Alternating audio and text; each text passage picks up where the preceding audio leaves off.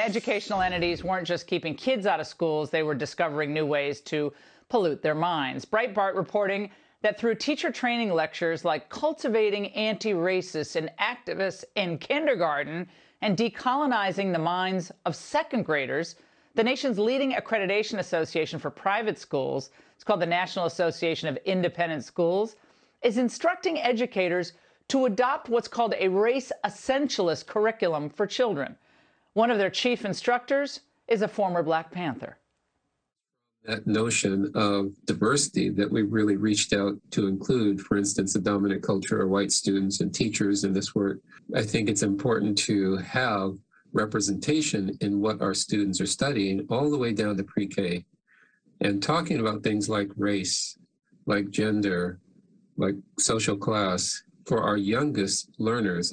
I think the whole notion of assessing with an equity lens is so critical it's there that we begin to see the bias surface. Joining me now, Bob Woodson, founder and CEO of the Woodson Center. Bob, we keep thinking it can't get worse, but now they're all exposing themselves. Your take on this?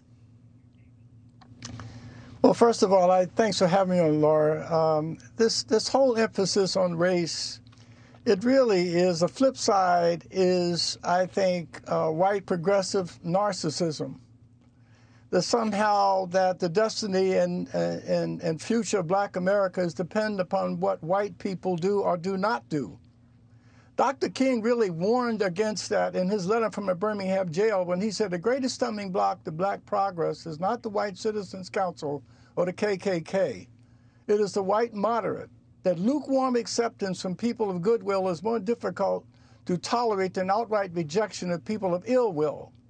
And some of these progressives that are teaching this poison to our children, in one sense, are worse than bigots.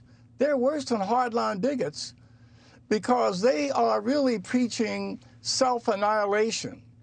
Every five minutes, Laura, a, a, child is shot in America.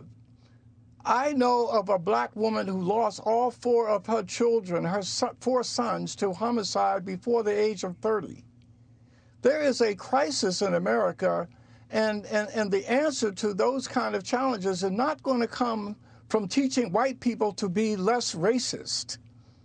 It is, it is, it is narcissistic to believe that, but also harmful to the nation. It's poisonous. And, well, Bob, and, and I, I, don't want to hear another white person say to me, I cannot confront this truth. Be, Bob, I'm white. I can't say that. Only you can. That's crap white America has to summon the courage to stand up against these progressive bigots. Well, Bob, we were and, talking and about this in relation. Truth. Sorry to interrupt, but we're, we were talking about this in relation to Disney, and that's kind of the, the more the sexual propagandizing. And but it, but it's this corporate environment that they're foisting on employees where it's the equity, diversity, equity, inclusion agenda, which on its face sounds that sounds fine. But then when you dig into it, it's not it's it's not about tolerance. This is about you must believe, you must think, you mu- and it it just creates an intolerable environment for free thought and free you know free expression. Period, and learning.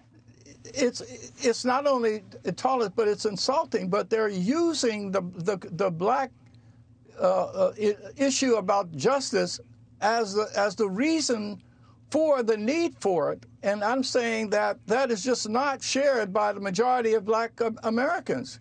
You talked about uh, Governor DeSantis. He won because 100,000 black, low income black people voted for him. He only won by 32,000 votes because of his position on vouchers and education. Even though Bingo. Obama and Oprah Winfrey came in to campaign for Gillum, the white, so black America, low-income black Americans do not share this passion for racial diversity that is being thr thrust on them by black and white yeah. elites. A white white guilt. And it so always, that's why always comes back. Bob, white we got to guilt is, is yeah, poisonous. Bob, Bob, um, your perspective so needed tonight. Thank you very much. Hey, Sean Hannity here. Hey, click here to subscribe to Fox News YouTube page and catch our hottest interviews and most compelling analysis. You will not get it anywhere else.